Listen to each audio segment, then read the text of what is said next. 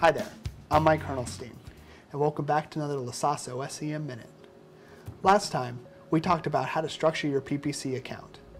Today, let's discuss Quality Score and its importance to your success.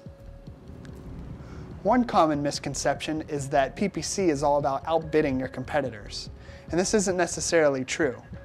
The engines want to keep their results as friendly as possible, and that's why they created Quality Score.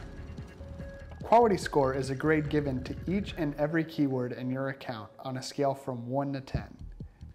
There are many variables that factor into increasing your scores. When a user searches for one of the keywords you are bidding on, the engines determine what position your ad is shown based on a formula combining your max cost per click bid and that keyword's quality score. The higher the quality score, the lower the bid required to secure prime position. Simply put, an ad with a high quality score can place higher than an ad with a higher bid and a lower quality score. Well, that wraps up this minute. Next time, we'll discuss more PPC tactics. But for now, I'm Mike Hernalsteen. Thank you so much for stopping by.